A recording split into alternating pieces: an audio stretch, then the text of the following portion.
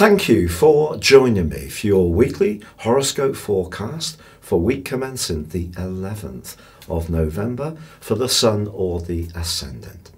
If you've yet to subscribe to my channel, I'd be honoured if you did so now. Please click or tap on the bell notification symbol. There's an absolutely brilliant angle between the Sun and Pluto this week.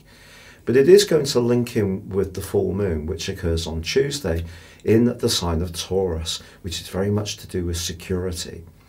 Whereas Scorpio, the sun, is very much to do with transformation. In a more practical sense, it can be about longer term finances, business, investment, entrepreneurship. In this opposition with the moon, something may need to be realigned, but Pluto is going to assist being in a very positive angle to both positions. Pluto is very positive if we can sacrifice ourselves to its influence. So if we resist change because we do want to maintain the status quo at all costs, it can get a bit bumpy. But if we just recognise that change doesn't have to be in a physical or material sense, it can be inside of ourselves.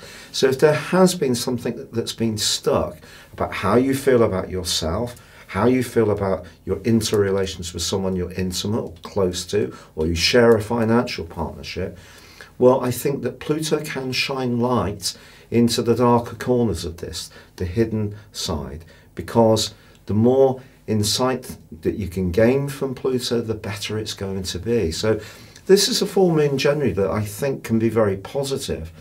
There's also a terrific angle this week between Mars in the sign of Libra, very much about balance, but it's forging a great link to the ruler of Libra, Venus, and also Jupiter, which themselves are in a conjunction.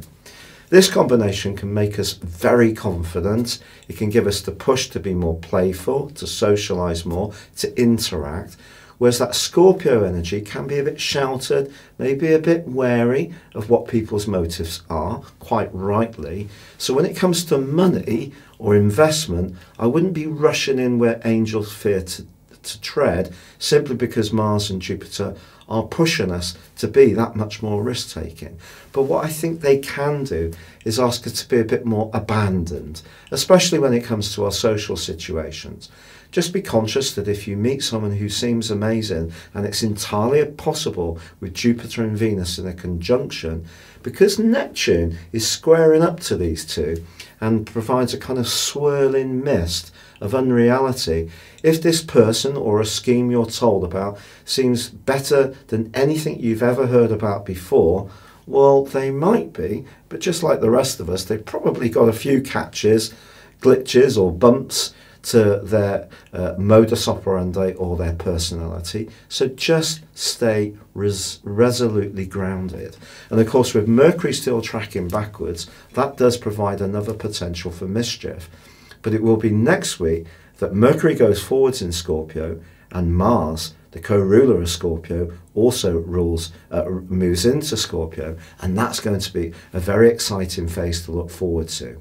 Your specific forecast Aries suggests that you could encounter someone really influential this week, and this could be critical around a business deal or if you're trying to raise funds or you need the approval of someone in some kind of way.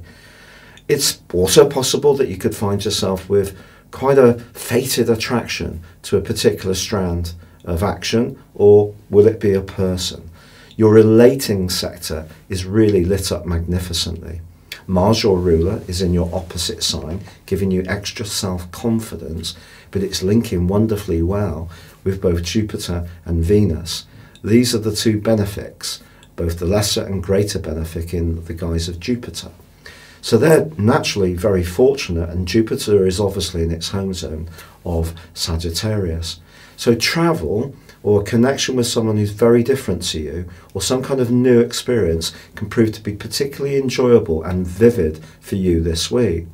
It's just you need to watch the nitty gritty because Neptune provides a swirling mist of unreality in the most psychological part of your scope, which could see you doubt an opportunity when it's okay, but also Mercury is tracking backwards. So if you're waiting to hear about a financial situation, it's possible you may have to grit your teeth and wait a bit longer. But the good news is that next week you're likely to get uh, the clarification that you really uh, re- require.